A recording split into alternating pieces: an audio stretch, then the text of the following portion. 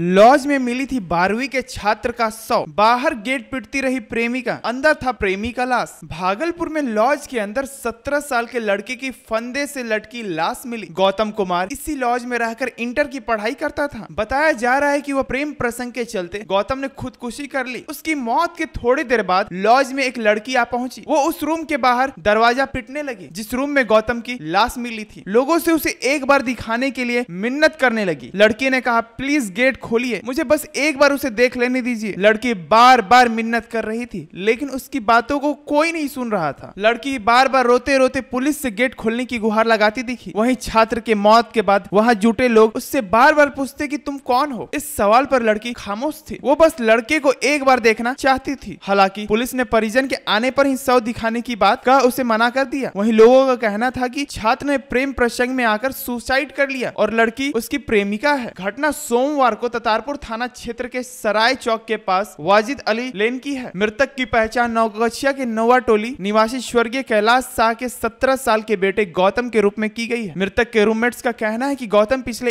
एक साल से इसी लॉज में रहकर पढ़ाई करता था गौतम का किसी लड़की के साथ प्रेम प्रसंग चल रहा रात में वो अपने कमरे में ही मौजूद था इसके बाद बगल वाले कमरे में जाकर उसने खुदकुशी कर ली सुबह दस बजे गौतम के रूममेट प्रिंस ने जब उसे कमरे में नहीं देखा तो उसने लॉज में रहकर दूसरे छात्र और मालिक को इसकी जानकारी दी जब सभी ने ने उसे ढूंढा तो बगल के कमरे में गौतम का शव फंदे से लटका मिला इधर घटना की जानकारी मिलते ही ततारपुर थाने क्षेत्र की पुलिस मौके पर पहुंच गई और मामला की जानकारी मृतक के परिजनों को दे दी परिजन नौगछिया से भागलपुर के लिए रवाना हो चुके हैं आगे की कार्रवाई पुलिस कर रही है